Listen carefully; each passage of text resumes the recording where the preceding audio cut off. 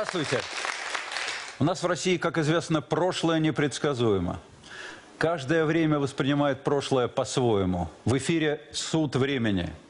В центре нашего внимания исторические события, персонажи, проблемы, их связь с настоящим. У вас, нашей телевизионной аудитории, также будет возможность высказаться, то есть проголосовать. Такая же возможность будет у сидящих в зале. Тема наших сегодняшних слушаний – Бен Ладен, террорист номер один или пешка в большой игре. У нас Усама Бен Ладен не пользуется такой мрачной славой, как в Соединенных Штатах, где был теракт 11 сентября. Планы Бен Ладена, как о них пишут, действительно отдают фантастикой. Создать объединенное исламское государство. Включить в него около 50 стран Африки, Азии и Европы. В том числе Албанию, Боснию, Азербайджан, Казахстан, Киргизию, Таджикистан. Потом расшириться на север, на Южную Америку, в Австралию, в Гренландию. Северный Кавказ также не обойден его вниманием. Все это сделать к 2100 году. Мы запускаем голосование нашей телевизионной аудитории. Повторяю вопрос. Бен Ладен – террорист номер один или пешка в большой игре? Номера телефонов вы видите на своих экранах. Обвинитель на процессе – писатель Леонид Млечин. Защитник на процессе – политолог, президент Международного общественного фонда «Экспериментальный творческий центр» Сергей Кургинян. Сейчас прошу вывести на экран материалы по делу. 11 сентября 2001 года в Нью-Йорке был совершен самый громкий теракт в истории человечества. Два захваченных самолета врезались в башни-близнецы Всемирного торгового центра. Кадры с летящим прямо в небоскреб авиалайнером с людьми на борту 24 часа в сутки показывали все телеканалы мира. А еще через несколько дней мировая история поменяла свой ход. Власти США назвали организатора кровавой трагедии – Усама Бен Ладен. Сегодня многие эксперты говорят о том, что Бен Ладен – это наследие холодной войны, что его создали сами американцы.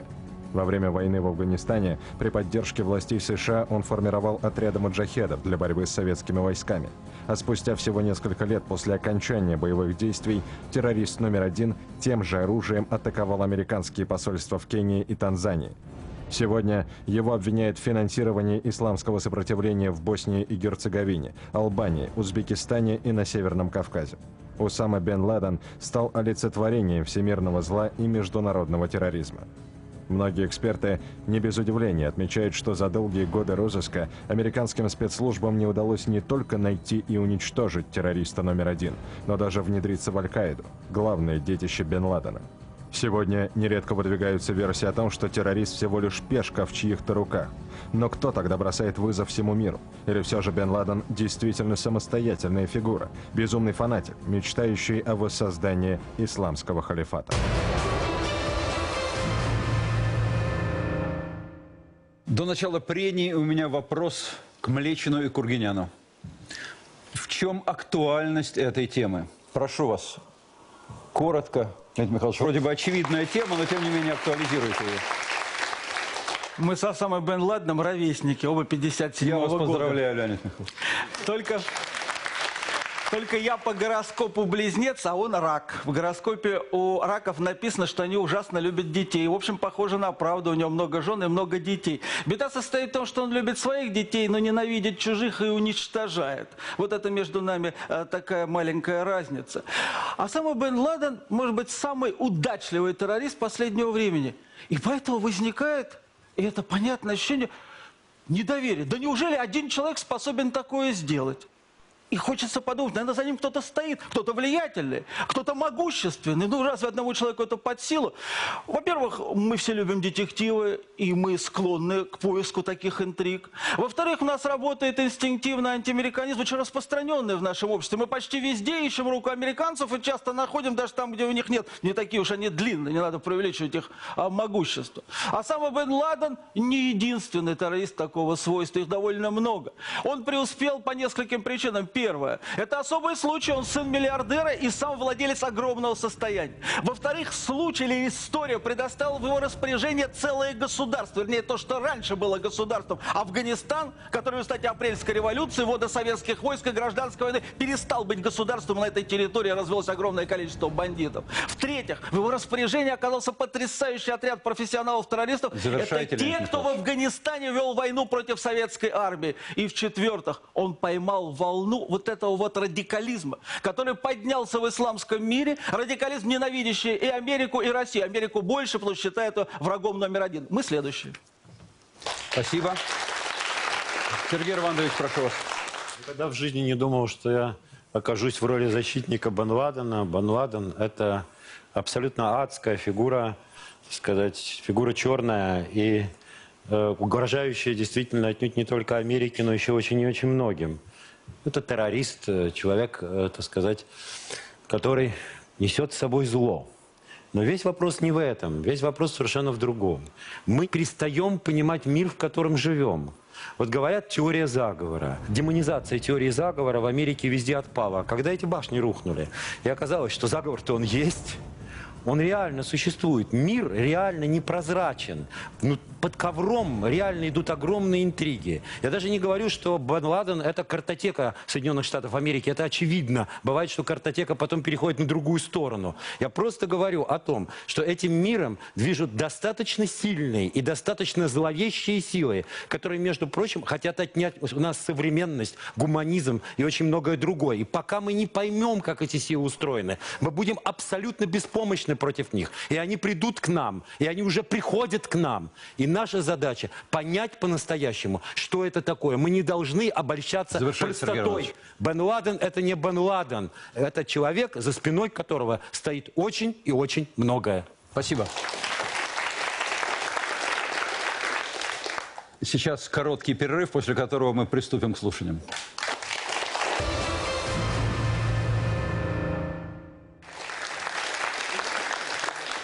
В эфире «Суд времени». Мы начинаем наше слушание по теме «Бен Ладен. Террорист номер один или пешка в большой игре?» Первый вопрос сторонам. Бен Ладен – порождение радикального ислама или международный спецпроект? Пожалуйста, сторона обвинения. Леонид Михайлович, вам слово. Тезис свидетель. Благодарю вас. Если можно, я бы хотел побеседовать со свидетелем Евгений Янович Сатановский, президент Института Ближнего Востока. Это, Евгений Иванович, важный вопрос. Он выходит за рамки даже нашего обсуждения. Итак, Бен Ладен. Это самостоятельная фигура, такой успешный и удачливый террорист. Или все-таки на самом деле за ним стоит кто-то, и мы предполагаем, кто это. И это сознательная провокация. Э, Во-первых, это, безусловно, не Кургинян.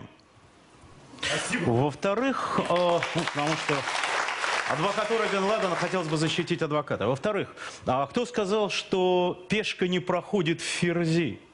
Замечательная фраза, он пешка, за ним стоит кто-то. Вы знаете, мы знаем таких пешек много. Сталин был пешкой. Только что потом стало с теми, кто стоял за ним? Мао был пешкой.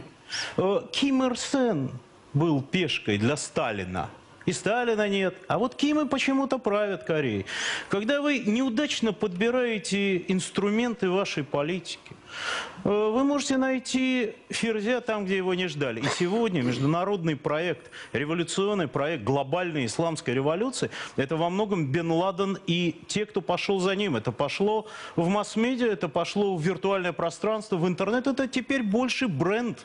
Его можно убить, действительно ничего не изменится. Он создал ситуацию. И сегодня это уже и не пешка, и уже давно пора забыть о том, что когда-то были какие-то хозяева. Да нет сегодня таких хозяев. 11 сентября те, кто думал, что они хозяева Бен Ладена, получили свое. И с тех пор Америка не выиграла войны, в том числе и против Аль-Каиды. А был все-таки пешкой, вы полагаете, или не был? А, полагался пешкой. И не только он один. Когда создавали Аль-Каиду, ну, конечно, это был инструмент добрые верующие мусульмане против безбожного Советского Союза.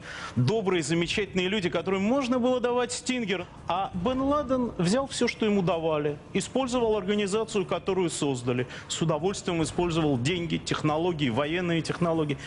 Э, Я скажу сейчас очень грубую и политически некорректную вещь. Был такой принцип белого человека времен Киплинга. Не надо учить туземцев стрелять из мушкетов. Плохо кончится. Ну, мушкеты оказались стингерами, кончилось очень плохо. Он Спасибо, спасибо. Я прошу прощения. Леонид Павлович, время истекло. Хорошо, благодарю Спасибо. вас. Сторона защиты, прошу вас, Сергей Иванович, можете задать вопрос свидетелю оппонирующей стороны. Ну, прежде всего, мы установили, что был или полагался пешкой, да? А теперь у меня такой вопрос. Скажите, а вы, в принципе, знаете, что бывших не бывает? А, Это красивая фраза. Хотел бы я, Это чтобы... принцип вербовки. Э, Это принцип вербовки, верно. Только в тот момент, когда Троцкому, ледорубам, кончали жизнь в Мексике, он, ох, как хорошо понял, что бывший маленький администратор, которого он упустил из рук, ох, какой он бывший. И так бывает всегда. Поверьте мне, Сергей Иванович, я не знаю насчет принципов вербовки, хотя, ну, наверное, вера в то, что бывших не бывает, спасает. Бывшие, они всегда бывшие, и они делают все возможное, чтобы быть бывшими. Это то, на чем японцы, вы человек, занимающийся восточной культурой, помните Ронинов? Да. Самурай без хозяина.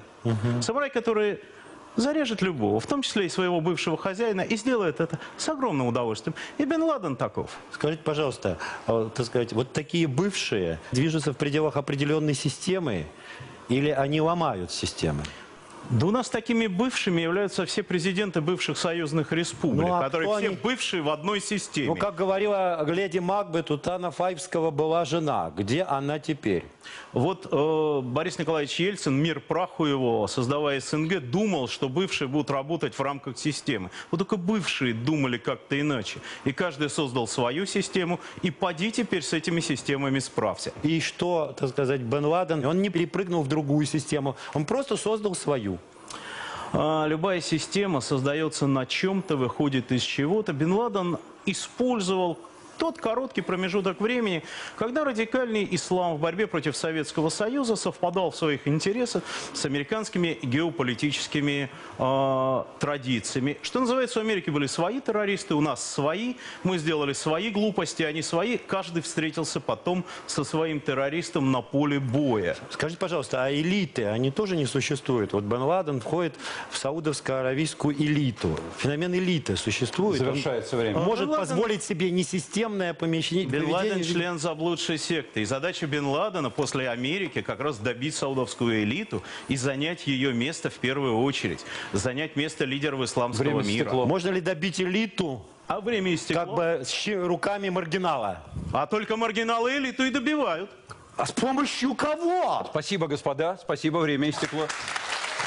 А, Сергей Иванович, прошу вас, э, ваше слово, ваш тезис, ваш свидетель. Я только хочу напомнить, что вопрос был задан Бен Ладен порождение радикального исламского общества или международный спецпроект.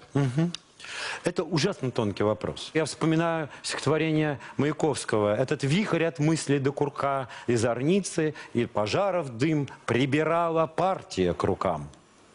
Значит, вопрос заключается в том, кто управляет этой энергией, а не в том, что этой энергии нет. Прошу вывести на экран доказательство номер четыре. Прошу вас доказательства защиты на экран. Из книги журналиста-международника Ахмеда Рашида «Талибан». Когда Бен Ладен решил присоединиться к джихаду, его семья горячо поддержала такое решение. В 1980 году он привез с собой инженеров-строителей и тяжелую строительную технику, чтобы строить дороги и склады для маджахедов. В 1986 году он помогал строить подземный город в районе Хоста высоко в горах, неподалеку от пакистанской границы, где на деньги ЦРУ сооружался большой склад оружия, тренировочный лагерь и госпиталь для маджахедов. Когда надо было бороться с русскими атеистами, саудовцы назвали меня своим представителем в Афганистане, рассказывал Бен Ладен позднее. Я обосновался в Пакистане, в районе афганской границы. Я основал свой первый лагерь, там пакистанские и американские офицеры обучали добровольцев. Оружие давали американцы, деньги – саудовцы. Я хотел бы теперь э, передать слово Леониду Григорьевичу Ивашову, президенту Академии геополитических наук, одному из самых ярких военных интеллектуалов России. Я бы не говорил, что это международный проект Усама бен Ладен и Аль-Каида. Это проект Соединенных Штатов Америки в союзе со спецслужбами Саудовской Аравии и Объединенным разведывательным управлением Пакистана. И это доказано уже. Во-вторых, почему Бен Ладен и Аль-Каида – это, знаете, инструмент американского глобализма, американской политики. Э, 2000 год. Принимается стратегия национальной безопасности США на 21 столетие. Это важнейший документ, определяющий политику и стратегию США.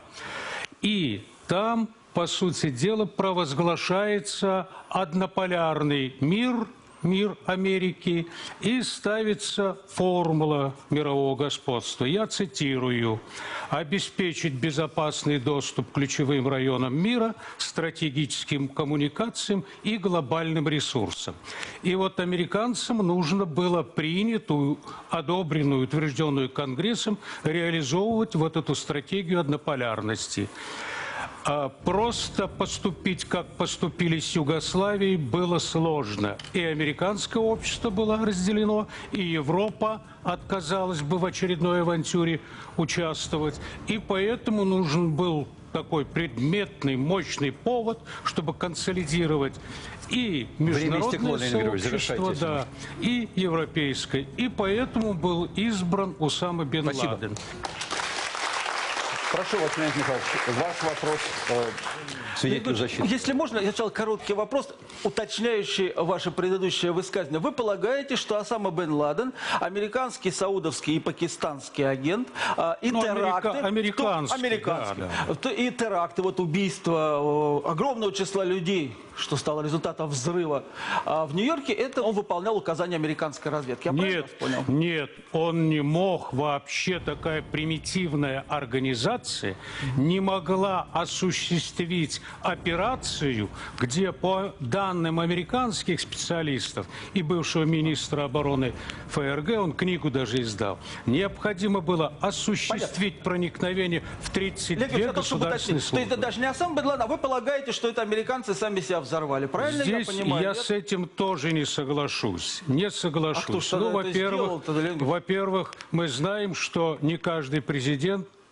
управляет Америкой. Есть силы более мощные. Некая тайная Ну, организация, я бы сказал, именно даже силы такого, может быть, интернационального характера, которые более мощная сила, которая знает только Которые вы, а мы не знаем. определяют Хорошо. политику То есть вы полагаете, что это агенты? Но считаете, это не значит спецслужбы? захватить самолеты, спланировать, чтобы Господа, время 32 истекло. службы ничего не заметили. Благодарю. Леонид Григорьевич, имеет ли, на ваш взгляд, или нет Бен Ладен какое-нибудь отношение к радикальному исламу? Да, безусловно, имеет. И, кстати, Аль-Каида, что и заботит американских специалистов, что в Аль-Каиду проникают неподконтрольные радикальные мусульмане. Спасибо. Короткий перерыв, после которого мы продолжаем наше слушание.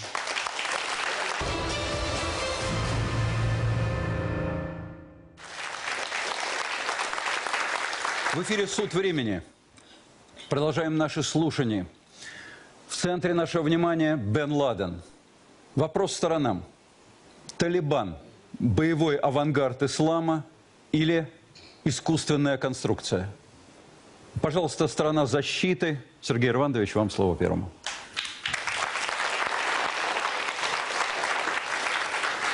Начнем с того, что, ну, конечно, все происходит гораздо сложнее. По данному вопросу у нас есть некоторые заявления, которые достаточно авторитетные и которые не являются ни ангажированными мифами оппозиции, да, ни какой-то такой дешевой конспирологией. Пожалуйста, доказательство номер восемь. Доказательства защиты, пожалуйста, на экран. Из книги Йозефа Бадански «Талибы. Международный терроризм и человек, объявивший войну Америке». Бывший министр внутренних дел Пакистана Насирула Бабар признавался осенью 1998 года, что Талибан был организован под его руководством в 1994 году. В конце 94-го, начале 95 -го года межведомственная разведка начала оказывать Талибану широкую помощь включая новые автоматы Калашникова, большое количество амуниции, военное обучение, материально-техническое обеспечение. Теперь доказательство номер шесть, пожалуйста, чтобы не было ощущения, что это вот выражение ислама. Следующее доказательство, Ладен это выражение ислама, ибо тогда мы демонизируем мировую религию. Пожалуйста. Цитата шейха Ибн База, одного из самых авторитетных исламских ученых. Мое наставление Аль-Массари и Аль-Факихе, Бен Ладену и всем, кто выбрал их путь, чтобы они оставили этот пагубный путь, чтобы боялись Аллаха и остерегались его гнева, чтобы вернулись к верному руководству и покаялись за то, что совершили. А теперь я хочу обратить внимание на то, что это такая настолько спецслужбистская, закрытая все время тема, и настолько нужно в ней опираться не на дешевую конспирологию, на материалы, что эти материалы на вес золота. И один такой материал существует. Это раскрытые архивы сетей Гладио и других. И вот в этих архивах сказано, что действительно кто-то убивал большое количество итальянских людей. Называлась стратегия напряженности. Оказалось, что это определенная элита спецслужб Италии. Это уже окончательный исторический вывод, подтвержденный открытыми архивными материалами. А теперь я бы хотел спросить Раджаба Сатаровича Сафарова, генерального директора Центра изучения современного Ирана. Вот это вот ощущение, специфический радикализм плюс спецслужбы, оно для вас существует? Вы знаете, я полагаю, что никакого отношения к светскому нормальному исламу движение Талибан не имеет, поскольку и тем более не является господин Сатановский боевым авангардом ислама Талибан. Поэтому я полагаю, что в данном случае имеется сговор, мировой сговор в лице трех китов Соединенных Штатов, Саудовской Аравии и Израиля. И это конгломерат вот этих государств практически претендовали на новый передел мироустройства. А Пакистан? Время истекло, к сожалению, господа. А Пакистан? Я, я прошу прощения, вместо Израиля я хотел бы назвать Пакистан. Спасибо. Прошу вас, Леонид Михайлович, ваша возможность задать вопрос свидетелю защиты. Давайте мы все-таки вернемся к истории создания Талибанов. Талибы, и вы, надеюсь, согласитесь со мной, это дети беженцев из Афганистана, оказавшиеся на территории Пакистана. Беженцев было очень много, больше миллиона. Это их дети, неграмотные, которые ничего не учились. Кроме немножко их учили Корану, очень чуть-чуть. Потом их стали вооружать, это правда. Пакистанские спецслужбы вооружали их для того, чтобы они противостояли советским войскам. И главным образом для другого. Если говорить о Пакистане, мы понимаем, что интересует Пакистан, и только одно. Это противостояние с Индией. Эти два государства всю свою историю с момента разделения Британской Индии враждуют друг с другом. И ничего другое их не интересует. Единственное, что нужно Пакистану, это превратить Афганистан в союзника против Индии. И все движение Талибан было действительно поддержано пакистанцами для того, чтобы они взяли власть в Афганистане и создавали другой фланг атаки на Индию. В чем А заключается талиб- ваш вопрос? Вопрос. Вы согласны с этим или нет? Или вы в самом деле будете говорить, что талибов создали американцы, и это их проект для завоевания чего? Я совершенно уверен, что студенты, так называемые талибы, они вовсе не были безграмотными. Ну да, они просто ничему не учились. но, Они были активные, м, продвинутые студенты, которые учились в Пакистане. И это было придумано для того, чтобы на самом деле создать некую структуру после военного, после ухода Советского Союза из Афганистана, неминуемо спецслужбы Соединенных Штатов и других стран э, пришли к такому выводу, будет междуусобица между Северным мощным альянсом во главе с Ахмадшахом Масудой и Бурханидином Вы Рабани. Одну секунду, одну секунду, Центрального одну секунду. управления И Хикматьяром и так далее и тому подобное. Не преувеличивайте И для того, чтобы политическим чистильщиком объявить и создать, придумали Талибан. Это одно. Потом Пакистан максимально выжил из политической и геополитической ситуации то, что мог. Готов был помочь борьбе Соединенных Штатов, Саудовской Аравии, Советским Союзом в Афганистане, помогая максимально маджахедам, взамен для того, чтобы иметь ядерную бомбу для противостояния с Индией. И это главная задача была Пакистана. Согласен с вами. И Только это давайте мы с вами еще Пакистана. скажем про талибов, что талибы это в первую очередь пуштуны. И это пуштун вали, кодекс пуштунов. Время это истекло. даже еще И более важное, пуштуны. что определяет талибы. И талибы поэтому пришли к власти в Афганистане, потому что они представляют там большинство. Прошу вас, 20 секунд даю. Да. Не забывайте, что Талибан для многих нормальных исламских государств и исламской идеологии является самым главным компрометирующим исламской модели управления. Такие А страны, как согласен. Иран и многие другие государства, просто ненавидят Талибан, поскольку они в мировом Спасибо, общественном спасибо, спасибо, господа. Суннит, негативнейший образ Ну, ислама. конечно, Спасибо, ненавидит спасибо. талибов, Спасибо. э, суннитов. конечно. Спасибо. А, Я хотел бы здесь сделать замечание, и на всю будущую нашу дискуссию на эту тему оно распространится. А, Если талибы а, молятся по законам ислама и читают Коран, это ни в коем случае не бросает тень на эту великую мировую религию, Никоим разумеется. образом, никоим образом. Эти слова ни разу здесь Да, не звучат. никоим. Несомненно. Я просто вступился за талибов, потому что они считают себя очень набожными Хорошо, прошу вас, не прошу вас. Леонид Михайлович, э, ваш тезис, ваш свидетель. Если вы позволите, я продолжу допрос Евгения Сатановского. Давайте мы с вами поговорим э, про талибов, которые один раз взяли власть в Афганистане, теперь, когда американцы уйдут, видимо, второй раз возьмут власть в Афганистане, и нам придется с ними иметь дело. Поэтому довольно важно для нас, для нашей страны понимать, кто эти люди. Ну так давайте, кто они? Или, может, кто-то в самом деле управляет? Ну, давайте говорить о том, что, безусловно, э, мусульмане не все террористы, и абсолютное большинство мусульман не террористы. Только вот те террористы, о которых мы говорим сегодня по всему миру, в основном, в абсолютном и подавляющем, почему-то исповедуют ислам. Мы говорим о том, что ислам, который не есть только религия, но есть цивилизация, в рамках которой живут Миллионы и сотни миллионов людей переживают период революционный. Мы говорим о том, что в рамках этой революции оружие угнетенных масс против собственного государства, а заодно и против всех остальных, если нет реактивных самолетов, это терроризм. Как было у нас, в нашей стране 100 и 150 лет назад. Талибы в Афганистане к власти пришли, потому что нынешнему президенту Афганистана, плейбою, мистеру 10%, человеку, платившему э, на каждом блокпосте за свои траки, которые ездили с грузами из Пакистана в Иран, из Пакистана в Центральную Азию, надоело платить маджахедам. И именно тогда, в годы, когда Беназир Бхутто была президентом, а потом Наваз Шариф, когда он возглавлял Пакистан, лидеры Пакистана реализовали этот проект, который для них казался простым инструментом управления этой территорией. А потом феномен Франкенштейна.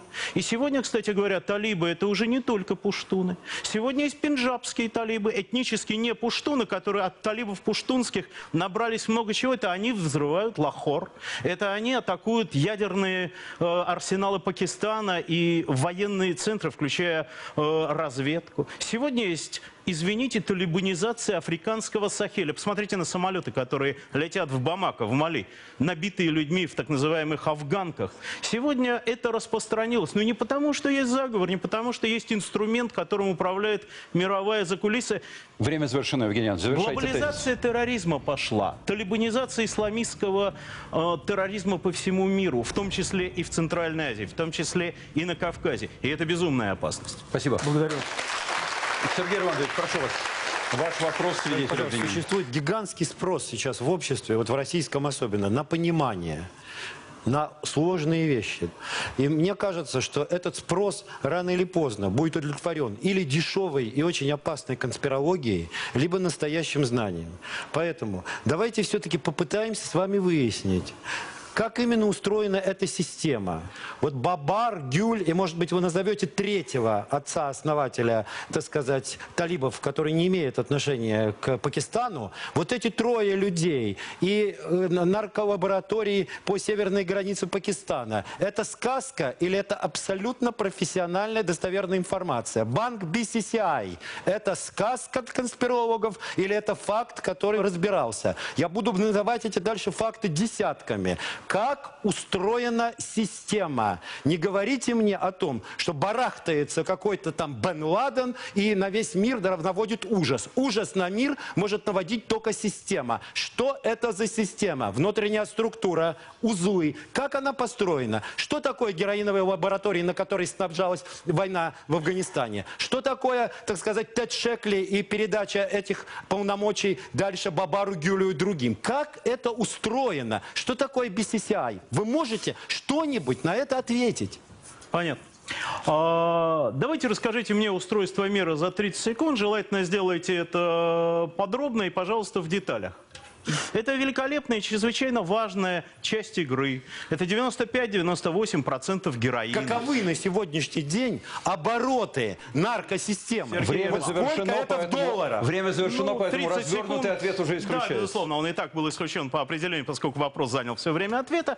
Э, Вы знаете, цифры, что называется, стоял бы, наверное, Бен Ладен, он бы вам точно данные дал. Это триллион Но- долларов в год. Ну, понятно. Значит, о триллионе пока не говорим. 950 миллиардов? О триллионе пока не говорим. Бюджет Аль-Каиды, чтобы вам было все-таки спокойней. На сегодня в рамках афгано-пакистанского проекта порядка 50, не 500, не 5 миллиардов, 50 миллионов долларов в год. Миллионов? Именно по... Миллион? Миллиона.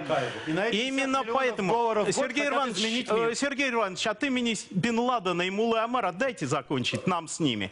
Поэтому, и Иншаллах. именно поэтому, иншаллах, э, именно поэтому сегодня Аль-Каида выведена по всему миру на самофинансирование. И поэтому каждая из ячеек Аль-Каида Магриба, движение Шабаб в Сомали должно теперь, и слава богу, у нас там, кто бегает по Чечне и Дагестану, должны находить деньги на местах. Из Спасибо. центра не получат. Спасибо.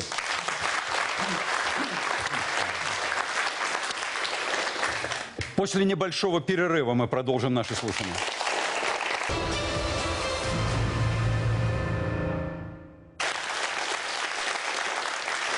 В эфире «Суд времени». Продолжаем слушание по теме «Бен Ладен. Террорист номер один или пешка в большой игре?». Вопрос сторонам. Аль-Каида – конфликт западной и восточной цивилизаций или инструмент переустройства мира? Пожалуйста, сторона защиты. Сергей Иванович. Частично мы этой темы уже коснулись в Я не нашем разговоре. просто совсем не спорю, что в этом жанре очень трудно говорить о чем-то сложном. Я здесь согласен с Сатановским. Но трудно не значит невозможно. Наркотрафики никогда не существуют без оружейных поставок. Это в принципе невозможно. Оружейная мафия и наркомафия действуют вместе.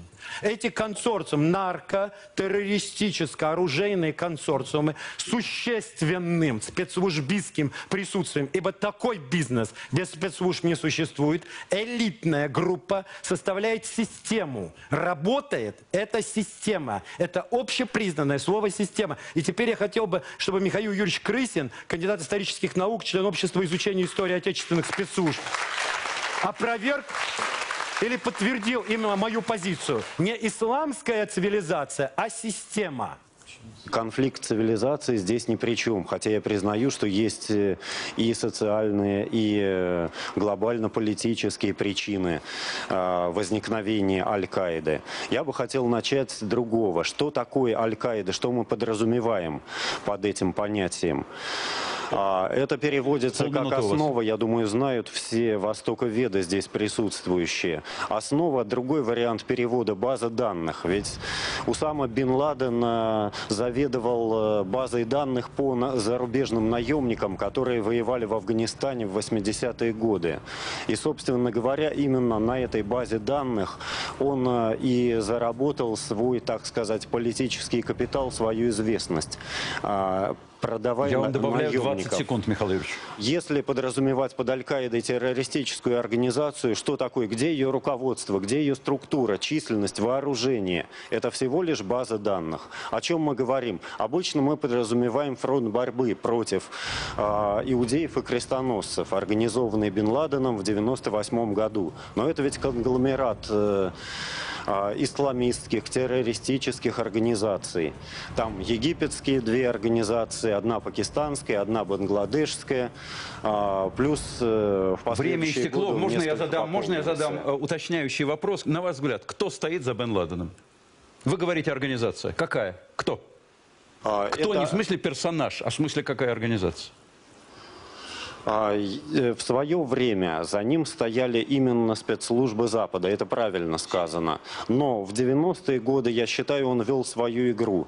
Но стоит добавить, что фигура сама Бен Ладена, это уже стала хорошо раскрученной торговой маркой, это лейбл. И многие террористические группировки именно а, стараются работать под этим лейблом, чтобы получить а, наемников из-за рубежа. Ну, то есть сейчас- своего рода известность. Сейчас, на ваш взгляд, за ним, я правильно вас понял, никто не стоит? Он уже А сам вот по это, себе? вот это большой вопрос. Кто за ним стоял в 2001 году, а, кому на руку он играл самостоятельно или нет. Я считаю, здесь точки надо и ставить пока еще Спасибо. рано. Можно только предполагать. Спасибо, Михаил Юрьевич.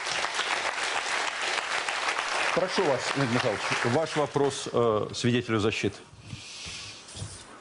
Михаил Ильич, а разве вот эта вот организация Аль-Каида, мы даже вообще говоря тут ни разу всем присутствующим не объяснили, что Аль-Каида это террористическая организация, которая возглавляет Бен Ладен, который ставит перед собой задачу уничтожения неверных, неверных вообще, но не только неверных, а также наказания властителей арабского исламского мира, которых они считают погрязшими в неисламском поведении. Разве не есть появление этой организации отражение очень серьезных процессов, которые происходят в исламском мире и в арабском мире особенно? Давайте возьмем арабские страны. Это же огромные производители нефти. Это же страшно богатые государства. Саудовская Аравия, откуда сам Бен Ладен, Катар, другие.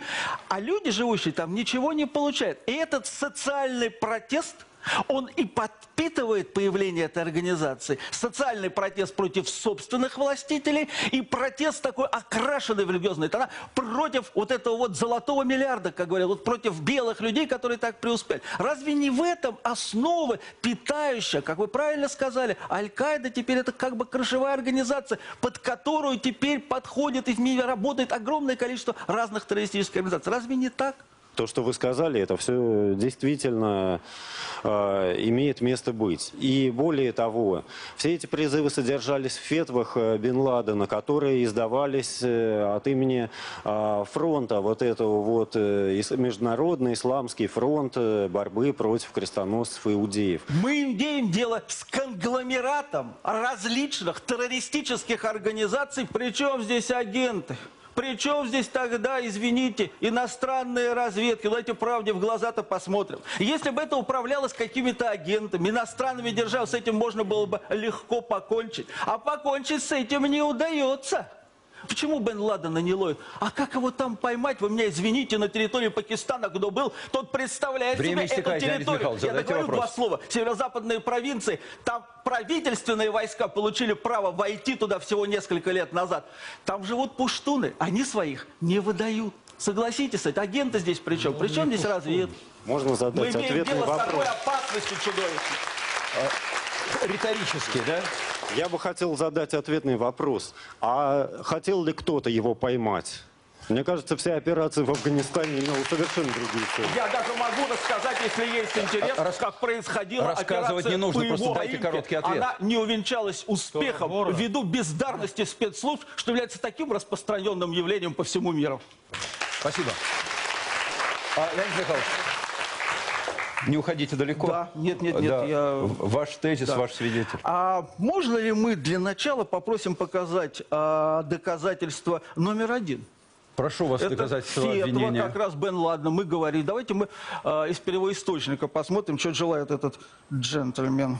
Из декларации джихада, изданной Бен Ладеном в августе 1996 года. Мусульмане страдают от несправедливостей и злодеяний, исходящих от союза сионистов и крестоносцев и предателей, сотрудничающих с ними. Сейчас каждый род на Аравийском полуострове обязан вести джихад и очистить нашу землю от этих оккупантов. Их богатство достанется тем, кто будет убивать их. Теперь, если можно, доказательство номер 9, оно принадлежит Перу, его ближайшего соратника Завахири. Следующее доказательство обвинения. Из книги Аймана Аз-Завахири «Рыцари под знаменем пророка». Растущая сила сплачивается под флагом джихада во имя Аллаха и действует вне рамок нового мирового порядка. Она свободна от прислужничества перед доминирующей Западной империей. Она обещает крушение и гибель новым крестоносцам, выступающим против стран ислама. Она готова мстить руководителям мирового сборища неверных – Соединенных Штатов, России и Израиля. Я бы хотел обратиться к своему другому свидетелю, Георгий Ильич Мирский, один из самых известных востоковедов, знаток арабского мира. Георгий Ильич, раз уж мы пошли по первоисточникам, а как сама Аль-Каида оценивает, вообще говоря, свою деятельность, теракт 11, а то мы за нее говорим. Есть такое арабское слово «истишхад». Корень тот же самый, что и слово «шахид», который все знают. Это значит самопожертвование, мученичество.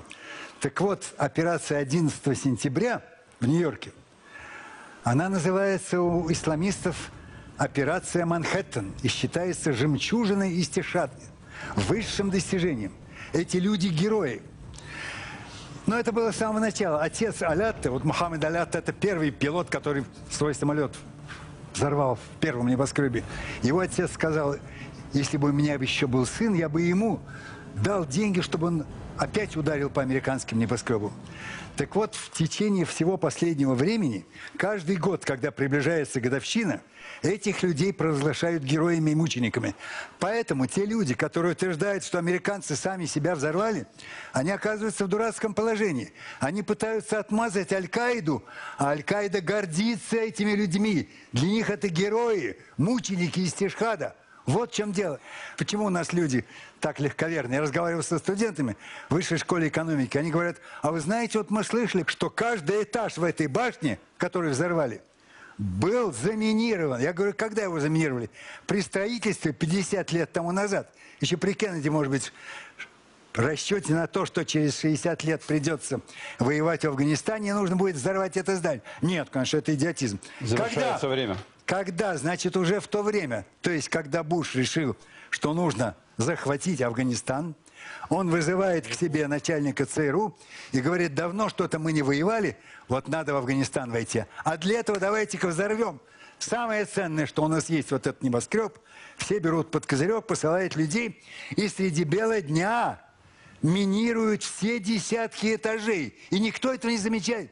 И прошло 10 лет, никто ничего не сказал. И взрывают своих людей, опять же, не ночью, а среди бела дня.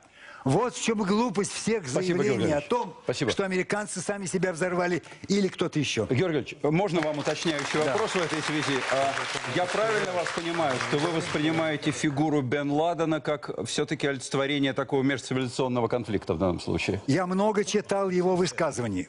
Он не говорит о цивилизации, он говорит о другом. Он Ну, у говорит него о другая том, лексика, но тем не что менее. Запад угрожает исламу, исламскому сообществу, что нужно бороться. Он, в одной из его фетв прямо говорится, каждый мусульманин должен убивать американцев и евреев.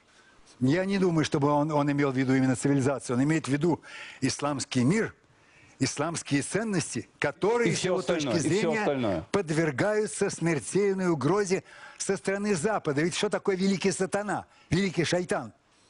Это не только агрессор и захватчик, это великий соблазнитель. Вот что такое для них Америка. Западный мир, большой сатана, соблазнитель, который пытается размыть, уничтожить исламские ценности Спасибо. и навязать свои аморальные ценности. Спасибо, Ведь они Георгий. не считают их христианами. Спасибо. Сейчас одно только слово. Тут иногда говорят о войне цивилизации, о войне религии, это совершенно неверно. Если бы спросить тех людей, которые сели за штурвал самолета и врезались в небоскребы, и спросить их, вы что, боретесь против христианской Америки? Они бы засмеялись. Для них Америка и Запад вообще не христианская, а безбожная и аморальная. Это не борьба ислама против христианства. Спасибо. Сергей Иванович, прошу вас, ваш вопрос свидетелю обвинения. Григорьевич, первый вопрос. э, можно ли назвать нонсенсом все утверждения о том, что так же не бывает, там, что люди в какой-то стране сами себя взрывают? Это всегда нонсенс. Что значит люди сами себя Ну взрывают? вот как так может быть, что какие-то спецслужбисты берут и сами себя взрывают своих Я же сказал, что в это смешно поверить даже. Это всегда так, в это всегда смешно поверить. Я говорю, что точно так же вы можете найти людей, которые, как говорится, за бутылку вам докажут, что Сталин убил Ленина, что Хрущев убил Сталина. То есть чушь это собачья, Вот, теория а- заговора, а- правильно? А, то, что... да? а Этого- то, этого что я Буш- хочу добиться. В этом ваше а утверждение, то, да что- или нет? А то, что, что значит да или нет? Вы знаете, Игорь Иванович, вы так Фри- кричите, как будто вы и есть тот человек, который Сергей готовится взорвать. Фридрих Господин Сатановский, я Ницше, никогда не мешал вам высказываться так, как вы хотите. Фридрих Ницше. Я сейчас, э, так сказать, э, посылаю некий эмоциональный сигнал потому, что мне не отвечают. Вы А говорите, время идет. Вы говорите да или нет. Фридрих Ницше в своей Заратустре написал, только на базаре пристают с вопросом да или нет. Вы это относите к вопросу о том, вы это относите ко всем вопросам мироздания? Вы это относите к вопросу о наличии Мессии? Только на базаре пристают с этим вопросом? Да не надо передергивать. Причем Почему тут Мессия? Вы говорите, это вы о конкрет- передернули? вы говорите о конкретной вещи, о взрыве зданий. Я вам говорю, что нелепо представить себе, что руководитель государства может совершить такую вещь ради какой-то экспедиции в какой-то Афганистан, точно так же, как нелепо было представить себе, что Путин дал команду совершать взрывы, Замечательно. чтобы войти в Замечательно. Чечню. Тогда мой вопрос. Кто взорвал на Пляса де ля Фонтана? Что вы имеете в виду? Кто взорвал банк итальянцев на Пляса де ля А Фонтана? свои собственные террористы? Террористы? Итальянские? А вы читали архивы открытые Глаудио? Нет, не читал. Это от- взорвало Сисме. А кто совершил в 2005 году взрывы в автобусах в Лондоне? А кто в электричке в Мадриде? Не, не Если знаю, потому считаете- что нет архивов. Но Есть, что все такое есть, все итальянское? известно. Что Все такое? известно. Хорошо. Вот вам книга. Вот я Спасибо. принес. Я с ней Минуточку. обязательно ознакомлюсь. Дайте мне ответить. Я специально принес эту книгу. Я не принес... Я не принес специально американскую книгу, хотя у меня есть много книг про Аль-Каиду. И в том числе самая последняя, The Search for Al-Qaeda, Reader. Я принес французскую книгу, которую я купил в Париже. Аль-Каида Пара, Темоньяж де Регли Баро. Это написано иранским автором Хосро Хаваром, который интервьюировал захваченных, арестованных французами боевиков Аль-Каиды. И вот они все рассказывают здесь. И в таких книг масса. Поэтому говорить о том, что это какие-то силы инспирировали, тогда я вам скажу, значит, англичане сами себя взорвали. Я не в как взорвали англичане. Испанцы сами себя Я взорвали не в Мадриде. знаю этого. Марокканцы сами себя Я взорвали не в знаю, я знаю, что в Италии Все была по- стратегия напряженности. все и по что всему- архивы открыты. Да при чем Да или нет? При чем? Италия это здесь При чем? Господа, я заслушался, спасибо, время истекло сегодня, да. давно уже. Мы прекращаем телевизионное голосование. Я не без удовольствия объявляю, что наши слушания на эту тему будут продолжены завтра. Одного дня нам недостаточно. Завтра слушания по теме «Бен Ладен, террорист номер один или пешка в большой игре» будут продолжены в 21.00.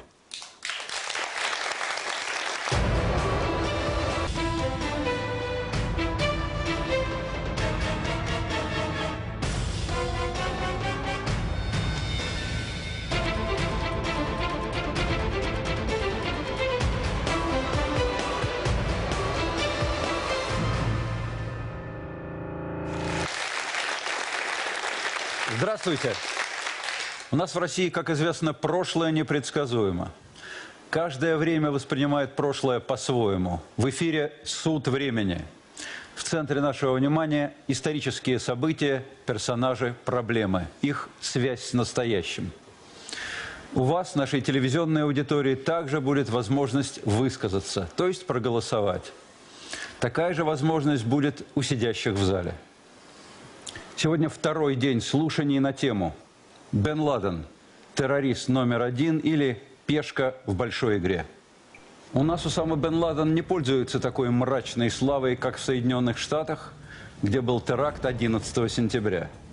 Планы бен Ладена, как о них пишут, действительно отдают фантастикой. Создать объединенное исламское государство, включить в него около 50 стран Африки, Азии и Европы, том числе Албанию, Боснию, Азербайджан, Казахстан, Киргизию, Таджикистан. Потом расширится на Северную и Южную Америку, Австралию, Гренландию. Северный Кавказ также не обойден его вниманием. Все это сделать к 2100 году. Итак, напоминаю, главный вопрос наших слушаний. Бен Ладен – террорист номер один или пешка в большой игре? Мы запускаем голосование для нашей телевизионной аудитории. Номера телефонов на экране. Обвинитель на процессе. Писатель Леонид Млечин. Защитник на процессе, политолог, президент Международного общественного фонда «Экспериментальный творческий центр» Сергей Кургинян. Сейчас прошу вывести на экран материалы по делу. Теракты 11 сентября 2001 года изменили ход мировой истории. После атаки на башни-близнецы в Нью-Йорке международный терроризм был объявлен новой глобальной угрозой.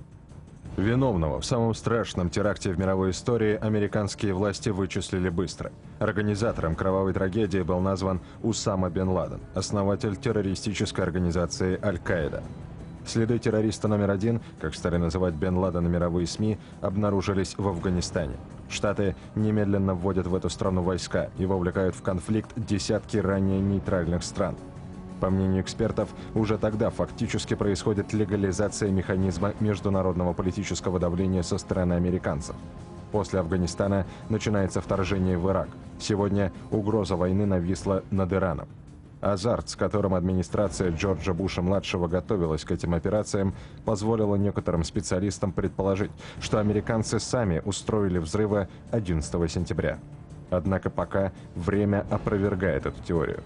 В Ираке и Афганистане до сих пор гремят взрывы. Едва ли не каждый день гибнут солдаты НАТО. Штаты тратят огромные средства на военные кампании, а желаемых результатов нет. Способна ли террористическая организация из слаборазвитой страны оказывать такое сопротивление международной коалиции? Или речь идет о полномасштабной войне исламского мира с капиталистическим Западом? И если это так, то кто на самом деле стоит за этой борьбой?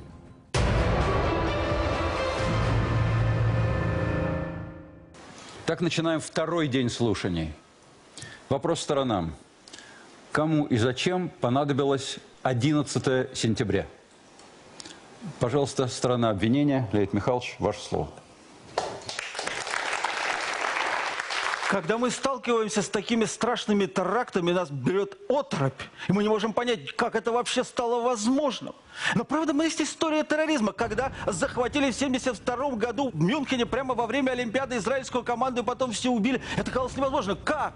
В городе, в Мюнхене, в столице Баварии запросто это произошло. Когда впервые захватили один за другим а, боевики из Народного фронта освобождения Палестины три самолета и посадили их а, в Иордании, пустующий аэропорт, тоже сказал, как? Захватить самолеты? Это стало возможно. И теракты, которые начинали, сначала убивали одного человека, потом несколько человек, убивали президентов и, наконец, чудовищный теракт. Но правда, возникает вопрос, а может быть, действительно за этим кто-то стоит? Так было и в 72 году, и в 73 и в другие годы. Я попрошу сейчас Георгия Ильича Мирского, э, доктора исторических наук, одной из самых выдающихся востоковедов, знатока арабского мира, ответит на этот вопрос, так как он поставлен, да кому было нужно 11 сентября, то есть этот страшный теракт в Нью-Йорке. Эта загадка, которая на самом деле никакой загадкой не является, очень просто решается. Для этого нужно прежде всего понять, чего хочет эта организация в главе с Бен Ладеном.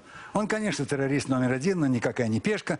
Не значит, что он сидит там у себя в пещере и рассылает факсы, смс тут взорвать, там взорвать. Конечно, нет.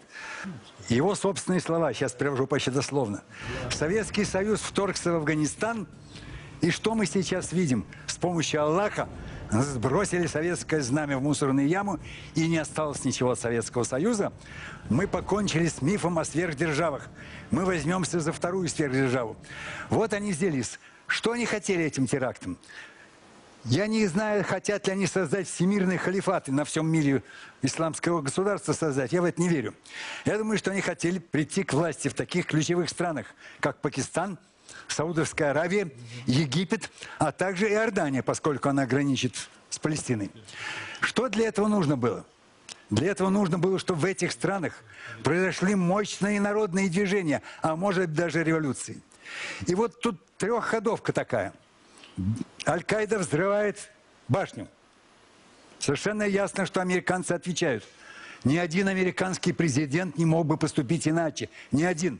Вот если бы Гор был избран вместо Буша, он бы не начал войну в Ираке, я уверен. Но в Афганистане, да, обязательно. Представляете, если бы у нас кто-то взорвал Кремль, там храм Христа Спасителя, и было известно, что где-то неподалеку есть страна, откуда пришли террористы, разве мог какой-нибудь российский президент воздержаться от удара? Конечно, нет. Бен Ладен прекрасно это рассчитал. Если можно, завершайте. Бен Ладен прекрасно рассчитал. Буш посылает войска туда.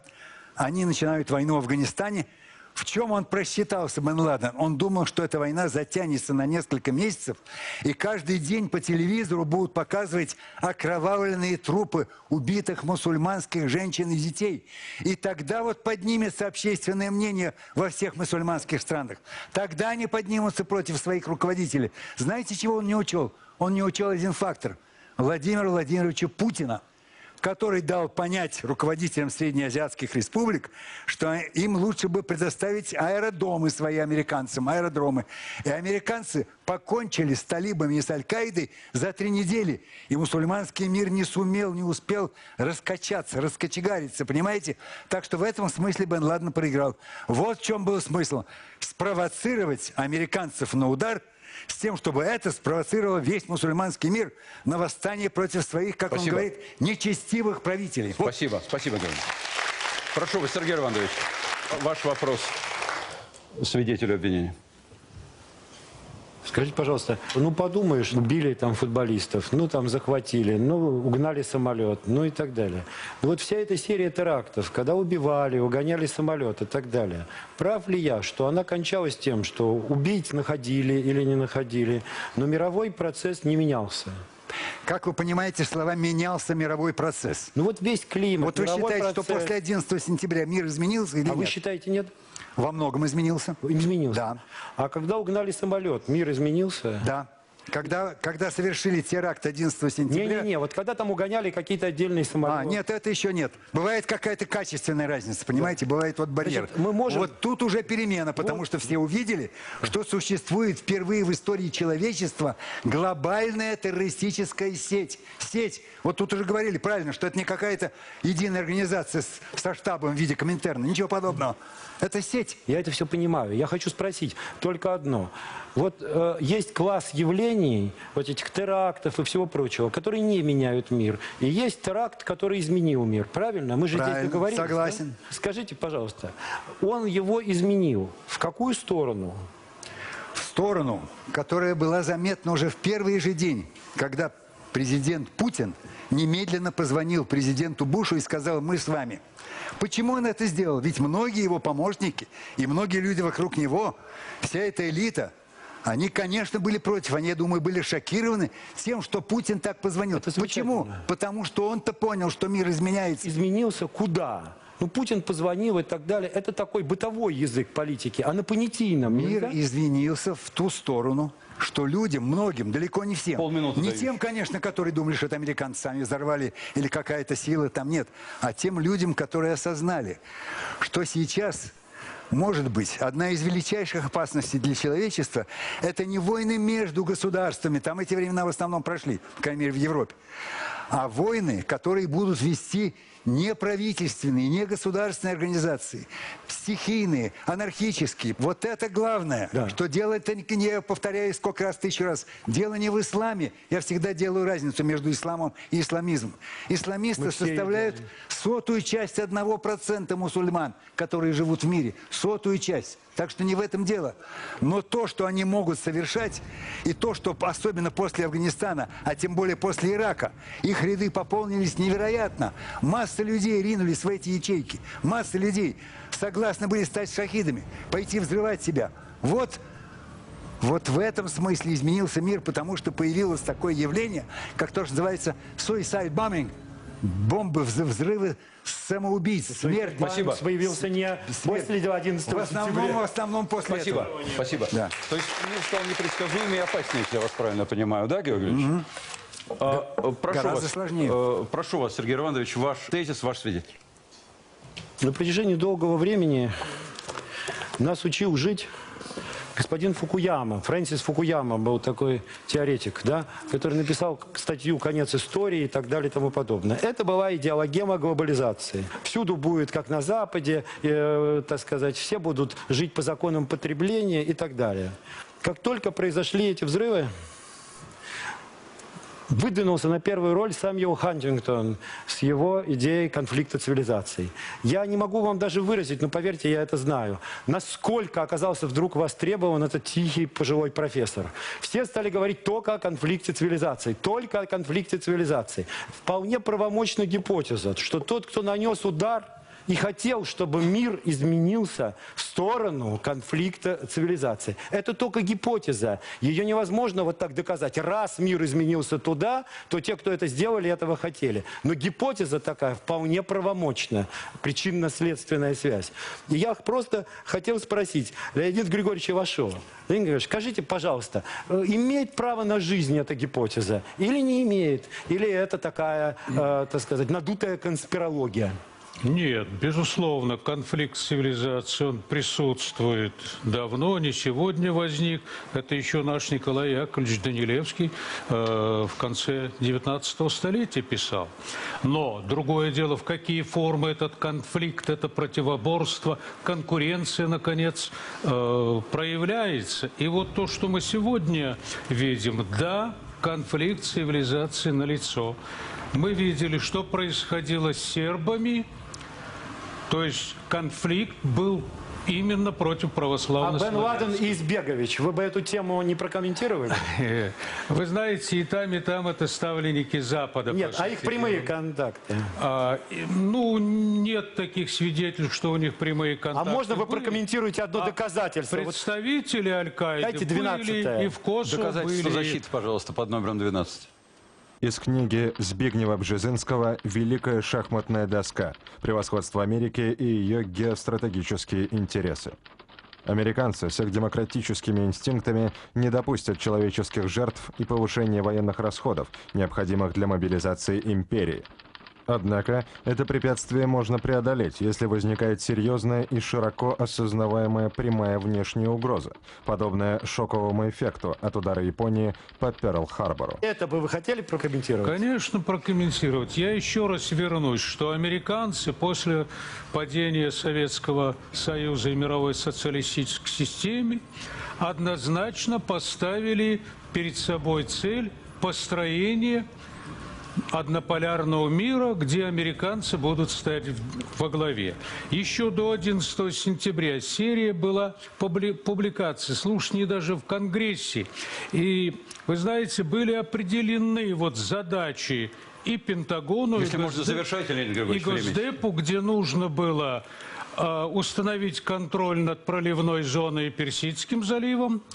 Была поставлена задача получить безопасный доступ вот этому большому энергетическому эллипсу Ближний Восток, Иранское Нагорье, Каспий. Эта задача стояла перед Госдепом. И Конечно, стояла задача противодействия, называлась так она, исламскому экстремизму. И мы видим, что после 11 сентября практически все эти задачи были решены. Американцы поставили под контроль нефтяные поля Ирака.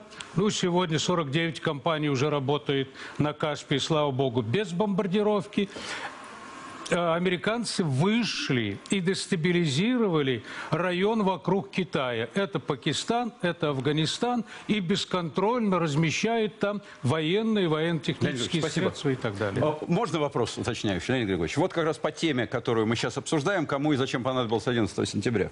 Вы сейчас упоминали, чего добились Штаты. Нефтяные поля, там Китай. Им зачем для этого был Бен Ладен-то нужен? Бен Ладен э, шарахнул 11 сентября по башням близнецам. Он харизматическая фигура, красавец, почти двухметровый, говорят. Король бедных арабских улиц. Мы знаем, что Палестинская улица гуляла, когда 11 сентября она увидела удар по телевизору. Он кумир их. И зачем это американцам нужно, скажите мне?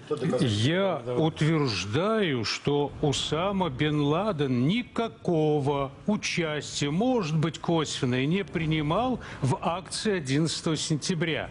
И даже первое его интервью, здесь многие помнят, где его спрашивают, это вы нанесли удар? Он перепуганный говорит, «А, а, это Аллах покарал Америку. И потом уже второе подготовленное интервью, когда он берет как бы ответственность на Аль-Каиду. Отлично. Если вы считаете, что не он ударил 11 сентября по штатам, а какие его действия выгодны штатам? Объясните мне. Выгодны его действия, которые Соединенные Штаты приказывают ему проводить. Он, по сути дела, оправдывает вот политическую стратегию Соединенных Штатов. Пример можно какой-нибудь? Вот, ну, например, что-нибудь, какая-нибудь его фетва или какое-нибудь действие, какой-нибудь теракт, Ну, который пошел бы на пользу Соединенным Фетвы Штатам? не идут. Ни в одном исламском государстве официальные власти и спецструктуры не поддерживают. Наоборот, Потому что, почему я не объясню, почему я задаю его, да. вопрос. Потому что, как мне кажется, то, что он делает, идет на понижение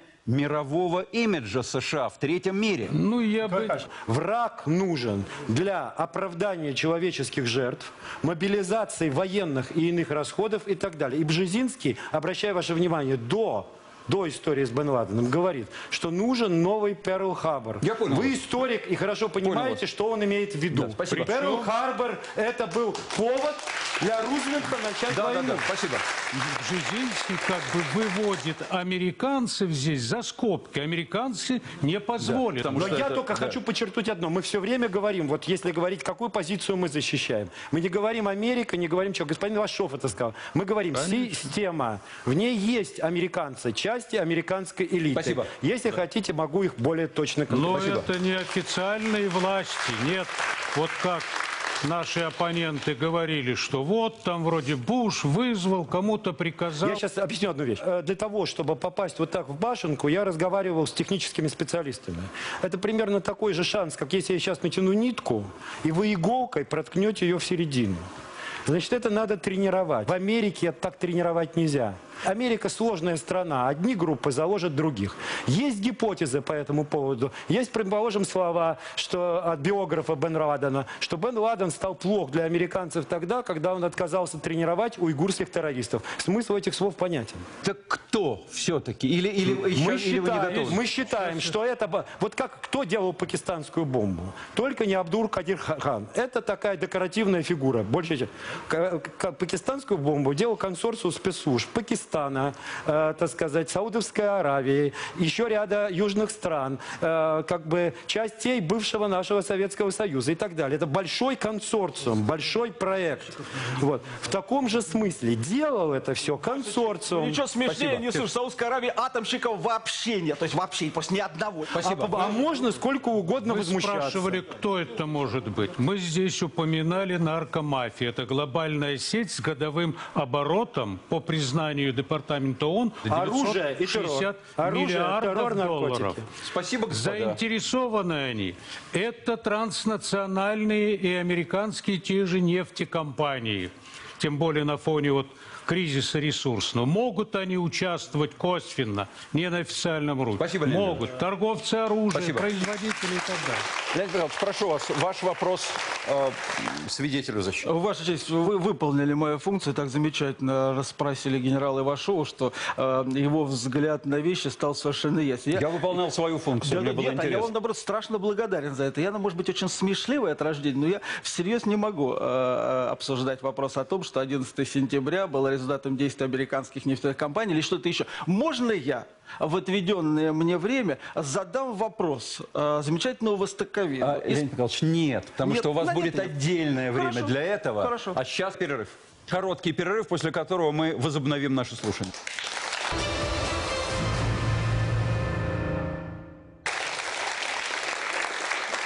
В эфире «Суд времени» идет второй день слушаний. В центре нашего внимания Бен Ладен. Вопрос сторонам. 11 сентября. Америка не доглядела или способствовала? Сторона защиты. Прошу вас, Сергей Иванович.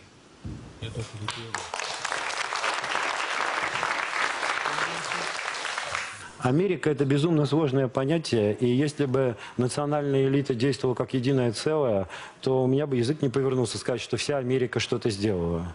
Я просто знаю, что когда нужно было повернуть политический процесс э, в Италии, убили Альдо Мора, взрывали банки, взрывали поезда, теперь это все хорошо разобрано, и это было сделано самими итальянскими спецслужбами. Сначала говорили красные бригады, потом были процессы, обвинили Сисми, одну из разведок Италии, э, что они это взрывали, ради того, чтобы изменить настроение. Да, а потом открылись сети Глаудио, и стало понятно, кто руководил Сисми. И это уже историческая информация, открытая, респектабельная, книги написаны, это уже есть.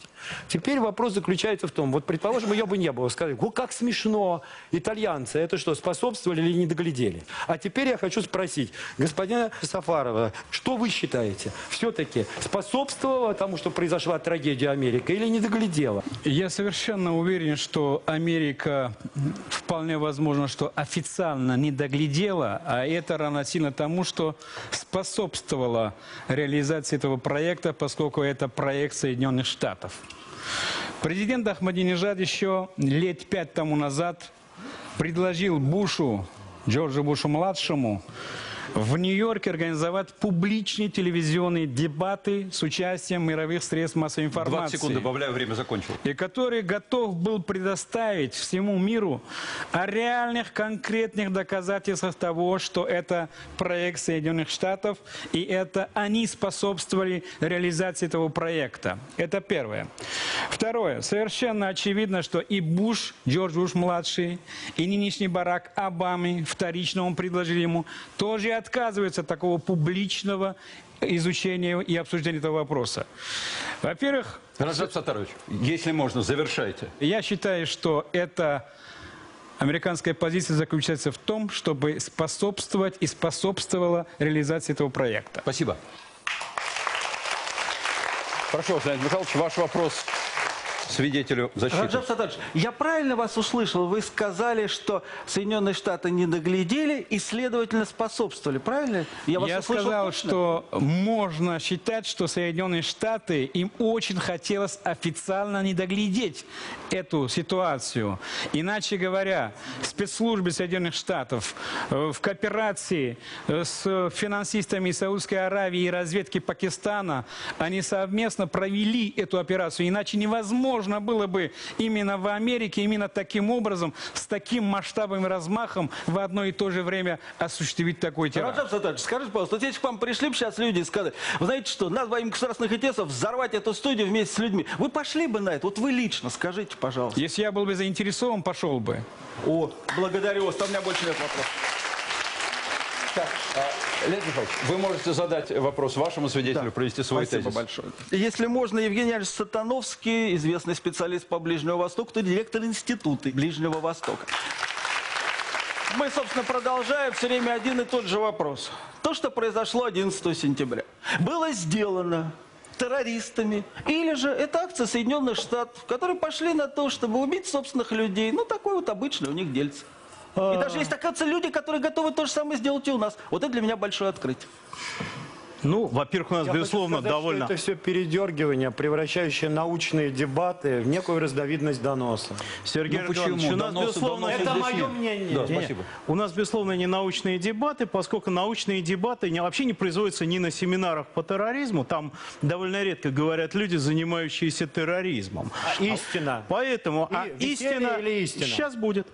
Истина, А, да? Истина состоит в том, что, безусловно, генерал Ивашов и Збигнев Бжезинский где-то близнецы-братья.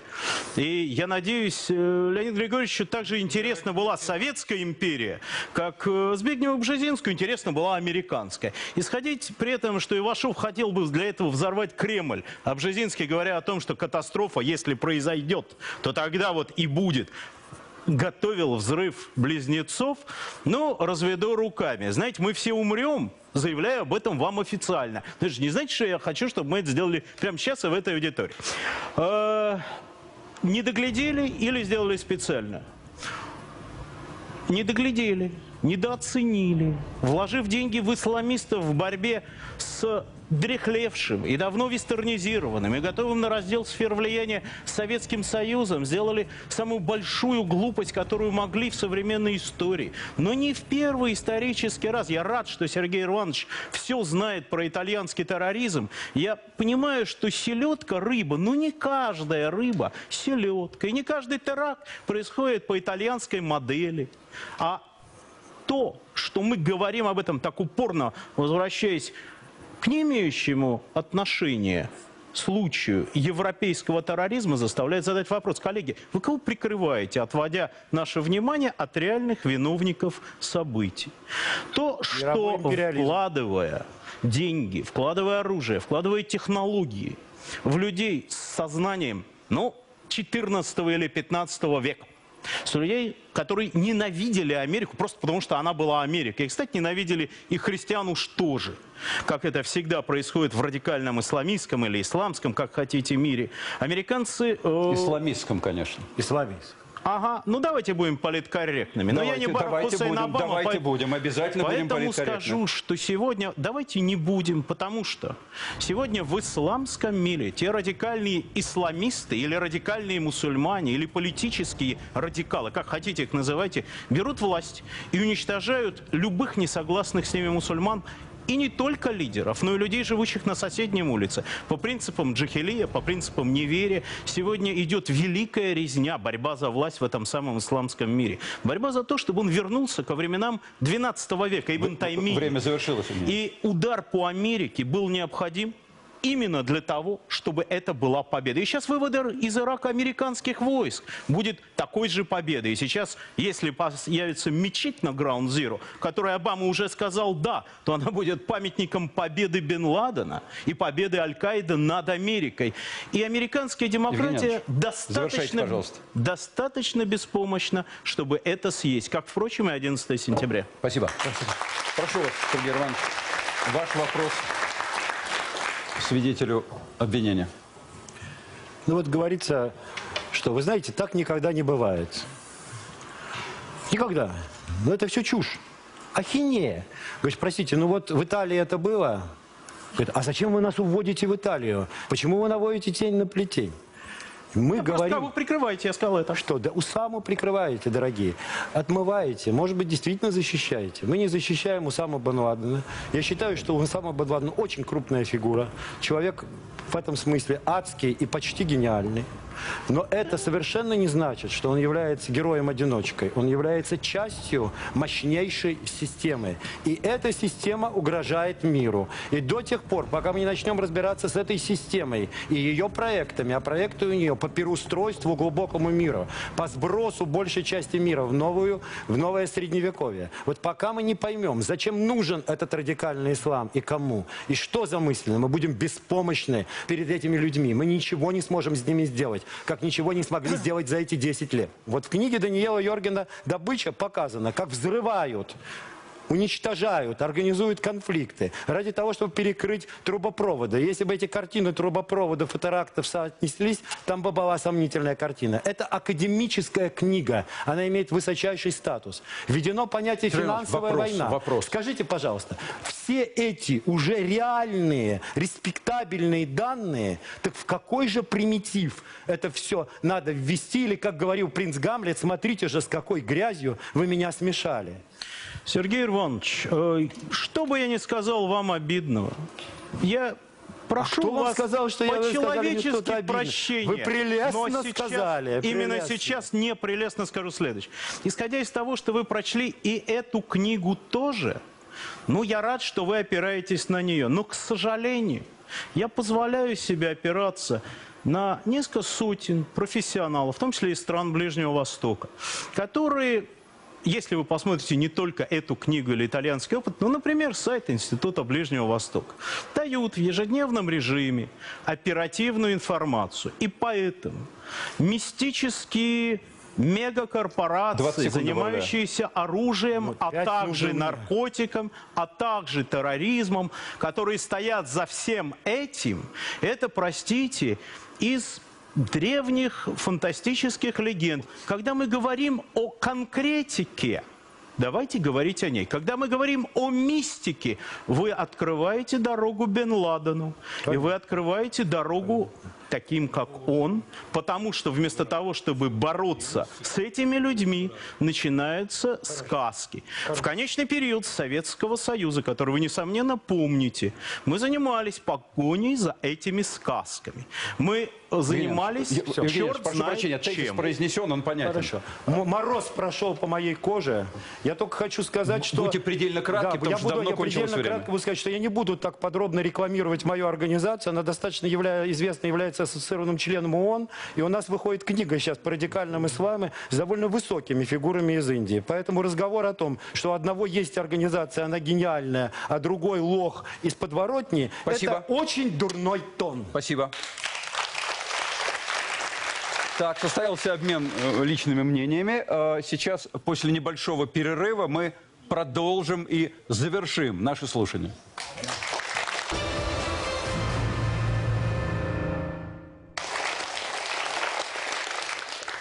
В эфире «Суд времени». Завершаем второй, последний день слушаний по теме «Бен Ладен. Террорист номер один или пешка в большой игре». Последний вопрос сторонам. Как отразилось 11 сентября на мировых процессах? Э, Прошу вас, сторона обвинения, Леонид Михайлович. Если можно, я попрошу обоих свидетелей по минуте ответить на этот вопрос. Да. Сейчас, когда была жара в Москве, один мой приятель поехал за город далеко, и вот в деревне он разговаривал со старушкой, бывшей колхозницей, которая сказала, наверняка это американцы сделали у нас такую жару. Он говорит, как они могли? А как в свое время они колорадских жуков забросили? Не так давно был опрос какой-то части населения. Обратите внимание, э, Да. Ильич, в зале смеха нет. Я обращу ваше внимание вот на что, что был, значит... Я бы в нашем месте сам посмеялся. Был опрос людей, которых спросили, а вы не исключаете того, что американцы специально завезли СПИД в нашу страну, чтобы травить русский народ? И около 30% сказало, что они это не исключают. Почему я это говорю? Вроде бы вопрос задан другой. Как отразилось? Вот так это отразилось. Людям в течение 10 лет после вот этого взрыва Людям промывают мозги и вешают, как говорится, лапшу на уши. Все время доказываем, что все, что плохое происходит в мире, это все виноваты американцы. Как раз вот этот взрыв используется многими нашими политологами и депутатами, и журналистами для того, чтобы разжечь вот этот антиамериканизм. Причем люди не понимают, что это отравляет мораль, это отравляет население. Потому что ненависть, ксенофобия, ненависть к кавказцам, ненависть к американцам, она приведет к тому, что люди и друг друга будут ненавидеть все больше и больше. Вот. Спасибо. Да. Что произошло в мире после 11 сентября? Э, Явными стали те процессы, которые в Европе и в других частях света шли в прошлом веке. Они в конечном счете приведут к тому, э, что в значительном числе исламских стран в Египте, наверное, первым после Мубарака. А в Газе уже, пока не страна, а территория, власть возьмут радикальные исламисты, люди с идеями Бен Ладена войдут в правительство. И потом, как показывает опыт, наш опыт, в том числе советский опыт, за который мы заплатили ну, вообще-то десятками миллионов собственной жизни, пройдет эдак лет 70-80, три поколения, пока это все утрясется, и тогда начнется следующая большая геополитическая катастрофа мировая, которая пойдет уже из Африки, где соответствующие процессы начинаются. Поэтому 11 сентября стало ясно, нас ждут войны, нас ждут революции, нас ждут масштабные теракты, нас ждут они везде, в том числе и в нашей стране. Это будет примерно три поколения. Расслабляться здесь бессмысленно. И вопрос о том, понимаем или не понимаем мы, кто враг и как с ним бороться. Или по-прежнему боремся с ветряными мельницами. Два раза страну за сто лет потеряли. Никто не хочет в борьбе с ветряными мельницами сделать третий шаг после 17 и 91 года. Давайте поймем, что часы тикают. А сумеем понять или нет? Ну, развожу руками. 11 сентября был сигнал для нас. Спасибо. Прошу вас, Сергей Иванович, вопрос свидетелям. Два основных отличия науки от пропаганды, не от шоу, а от пропаганды, заключается в том, что в науке рассматриваются гипотезы, и если до сих пор нет окончательных ответов на вопросы, то научная мысль не имеет права не рассматривать все гипотезы. И никто не обладает монополией на истину. И вторая черта пропаганды. Гипотезы, которые кажутся неудобными, мне не очень понятно почему, но кажутся, объявляются, так сказать, идеологически вредными. Вот это все и есть пропаганда, от которой надо, с моей точки зрения, отказаться, но это моя личная точка зрения. Теперь скажите, пожалуйста, у вашего института нет оценок того, если бы, вот моделей математических, если бы э, кто-то обладал инсайдерской информацией об этом взрыве и знал бы, какие акции взлетят и какие упадут, то этот кто-то какой доход получил бы в течение э, месяца? Сергей Иванович, э, Ну да или нет, если можно. Сергей Иванович, понимаете, я говорю вам о практическом понимании. Не о биржевых котировках, кто что заработал, ну а о том, кто где сидит, Ну, же. какой у него А, бюджет, кто и как, по каким каналам, чего, куда переправляет. Ну можно А сказать, что я вопросы- удовлетворен этим. А вопросы о том, кто что зарабатывает, меня, честно говоря, не интересует, опять же, потому Окей, что... вас не интересует. Ну, Николай Потому Иванович, что, ну, кому э, хочется мистикой заниматься? Ну, на Ну, самом деле, ответ спалать. получит, вы можете прерывать Ну, да, отвечающего, но просто биржа это сказать спасибо Теперь я хотел спросить вопрос. еще одну вещь. Сколько процентов роста производства героина и объема цен произошло после ввода американских войск в Афганистан? Э, Дорогой Сергей Иванович, объем цен не растет. Растет доход совокупный. да. Объем цен, простите, за пределами экономики. Насколько А, выросли цены на героин? Ваша честь, не давайте поняли, да? я отвечу, Речь поскольку- идет о тысячах процентов роста производства. Буквально 15-20 Да, конечно. секунд на ответ, У нас все, после увели- этого прерываю Да-да-да. вас. Сегодня примерно известно, что действительно известно, что 12 э, примерно объемов мирового потребления героина хранится на складах в Афганистане. Известно, что талибы, которые в первый приход своей власти э, боролись с наркотиками, в частности, по взаимодействию с пакистанцами и саудовцами, сегодня, напротив, их развивают. И беспомощность наших американских коллег, а также чрезвычайные Завершайте, опасения а, ввязываться в эту борьбу, не дают им ничего там сделать. Но говорить о том, что некая закулиса специально превратила Афганистан в ту нарко-квазидемократию, которой он я является, такое сказал? ну, развожу руками. Я сказал Спасибо. что-нибудь такое? Нет, нет, этого не сказал, говорилось, да? этого не говорилось. А то сразу наручники. и туда. Так, прошу вас, Сергей Иванович, ваш тезис, ваш свидетель. Беда состоит в том, что спрос на конспирологию чудовищный, потому что все понимают, что дешевыми сказками является официальная информация о зловещем усами, семью которого президент Буш вывозил соответствующим образом сразу после теракта, как вы знаете. Все этому не верят. Рынок гудит. Он заполнен туфтой, полуинформацией, безумием, конспирологией. Поэтому, если сейчас не начать обсуждать эту тему серьезно и по-настоящему, а отделываться ухмылками и отказами отвечать, то завтра это будет захвачено самыми безумными теориями заговора. А теперь я бы хотел спросить, господина Крысина Михаила Юрьевича. Скажите, пожалуйста, Михаил Юрьевич, мы первый раз встретились, написали замечательную книгу. Что вы думаете по поводу вот этих изменений мира? Я бы привел несколько фактов, просто как информация к размышлению, э, чтобы было видно, кто именно чего добился и, соответственно, кому были выгодны эти теракты. Вот уже было сказано о том, что выгодно было и исламистам но точно так же выгодно было и Америке. Вторжение в Афганистан э, обсуждалось э, в подкомитете по делам Азии и Тихоокеанского региона еще при Клинтоне в 1997 году. А, Компания Юнокал планировала э, нефтепровод э, для э, туркменской нефти и газа через Пакистан и Афганистан.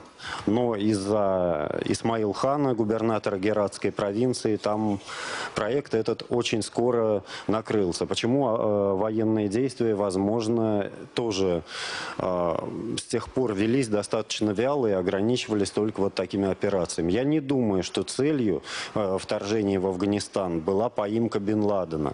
Почему сам Бен Ладен исчез э, с политической политической сцены, хотя мог бы делать дивиденды на этом, а, на том, что он имел на своей известности, на своей базе данных. Я думаю, все очевидно. Спасибо. Иванович, прошу вас, можете задать вопрос Вы свидетелю. меня смутили, сказав, что надо смотреть, кому выгодно. Знаете, кому выгоднее всех было э, вторжение американских войск в Ирак? Ирану. Соседнему Ирану, потому что исчез самый главный и самый опасный противник Иран. Но если вы скажете, что это Иран подкупил американского президента, чтобы послали войска в Ирак и свергли Саддама Хусейна, я с вами не соглашусь. Ну, пожалуйста, давайте посмотрим э, все-таки практично. Ну, что выиграли американцы от вторжения в Афганистан? Ну, скажите мне. Потери, огромные деньги, неприятности. Что они выиграли? Действительно оказалось Ну, просчетом. Насчет Ну, это Афганистана, о чем я уже что люди ничего а не что выиграют. касается Ирана, я с вами категорически не соглашусь, потому что Вы Иран скажете, что- оказался в окружении. Какого? И получил в окружении гораздо более кого? опасного В окружении соседа. кого? Какого соседа? А, Кто ему стал Соединенные Штаты. Соединенные Штаты никак не сосед Ирана, вы меня в извините в Ираке, в географии. Авер- Американские войска сейчас уйдут из Ирака, и Иран остается крупнейшей державой. То есть можно смело было бы сказать, что это ему выгодно. Но мы же с вами не будем этого говорить, правда? Спасибо большое. Ну, каждый при своем мнении остается. Сейчас мы завершаем наше слушание, и я предоставляю заключительное слово обеим сторонам. Прошу вас, Сергей Ирвандович, сторона защиты. В любом процессе, при любом обвинении, первое, о чем спрашивают, это мотив. Говорят, вот вы его обвиняете, у него мотив есть? Зачем он это совершил? Если мотива нет, нет ничего. Дальше после мотива начинают анализировать все остальное. Заявления, логику шагов, алгоритмы, движения, выгоды. Героин, который, так сказать, возрос в Афганистане и который не может не быть бесконтрольным, ибо в бесконтрольную наркомафию я лично не верю, стоит около триллиона долларов. Люди заработали на всем происходящем чудовищные деньги. Я никогда не говорил и не собираюсь говорить, что это сделала Америка, и что люди, которые играют в эту адскую глобальную игру, так сказать, играют из- и ради интересов Америки. Я только хочу сказать, что силы, которые это организовали, огромные, они беспощадно продолжают свою игру. Их можно остановить. Никакой фатальности в этом нет. Но только когда мы познаем их природу, конкретно, сухо и в деталях, у нас появится крохотный шанс избежать беды, которая нависает над человечеством. А до тех пор, пока мы будем прятаться за декоративного Усаму, который ну хулиганил и сбежал в пещеру Тора-Бора или неизвестно куда, у нас не будет никакого шанса. Вы его называли сегодня достаточно крупной фигурой. Крупная фигура, но никакая одиночка в этом процессе вообще ничего не может. Это смешно. Это смешно абсолютно. Идет глобальный процесс, в котором холодно меняют константы мира. Бен Ладен – это человек, который не хочет, чтобы мир шел в модернизацию. Бен Ладен – это человек, который единственный после Гитлера, никакие коммунисты этого не делали, сказал, что прогресс и гуманизм – это шайтан, что модернизация – это мерзость, что надо вернуться в средневековье. И в этом смысле он очень интересен для тех, кто реально хочет вернуть большую часть человечества туда. Вот что такое Бен Спасибо. Ладен как феномен. Спасибо. Леонид Михайлович, прошу вас. Когда большевики приходили в нашу стране к власти в 17 году, рассказывали, что они куплены немцами и что они исполняют решение немецкого генерального штаба. И если так представить себе, что ж мы за народ, который можно купить за какие-то немецкие деньги. И кто так думал, тот не понимал существа процессов, которые происходили в нашей стране. И не понимал, каким образом большевики победили, почему они выиграли гражданскую войну, почему они столько десятилетий управляли нашей страной. И сейчас то же самое практически. И тот, кто думает и кто говорит, что Осама Бен Ладен никакого нет, или что он нему не причастен, а что если это какие-то секретные структуры, системы, спецслужбы или еще что-то, те не понимают и не хотят дать возможность нам понять серьезность происходящих процессов. И если ты представляешь, что это какие-то спецслужбы, тогда не о чем беспокоиться. Тогда не надо интересоваться тем, что происходит в исламском мире. А между прочим, у нас в стране тоже немало исламское население. У нас на Северном Кавказе есть проблемы. К нам приезжают террористы в Москву и взрывают у нас станции метро. Это серьезное явление, которое надо понимать во всей сложности. И наша сторона на протяжении двух дней процесса пыталась рассказать о том, что на самом деле представляет собой Бен Ладен, который возглавил возглавил уникальную на сегодняшний день сетевую террористическую сеть, которая добилась чудовищного успеха. Пытались рассказать о том, каковы процессы происходят на Ближнем Востоке. И мне кажется, что только здравый взгляд, лишенный всего этого безумия, позволяет нам понять, что происходит и что нам нужно делать. Спасибо вам. Спасибо. А, Мы прекращаем телевизионное голосование. И я прошу голосовать зрителей в нашем зале. Напоминаю вопрос. Бен Ладен, террорист номер один или пешка в большой игре? Ну, пожалуйста, берите пульты. Кнопка номер один – террорист номер один, а кнопка номер два – пешка в большой игре.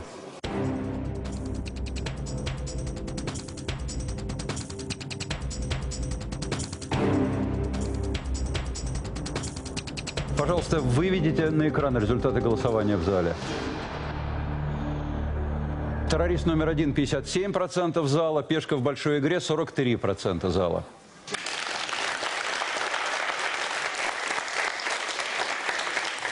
Сейчас короткий перерыв, после которого мы объявим результаты телевизионного голосования.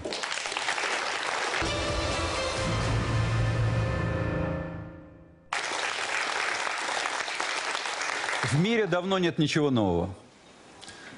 Нет ничего оригинального и в декларациях Усамы бен Ладена. Рядовые претензии на мировое господство. Когда кому-то в очередной раз приходит такая идея, она обязательно красиво упаковывается. Многие ведутся на нее и даже жертвуют собой. Часто мы знаем, такие идеи носят антизападный характер. Вот и Бен Ладен говорит, всемирный исламский халифат будет поддерживать торговые отношения с Западом и заимствовать высокие технологии. Но заимствование иудейских и христианских ценностей, а также демократического образа жизни будет строжайше запрещено. В общем, ничего нового. Это мое личное мнение.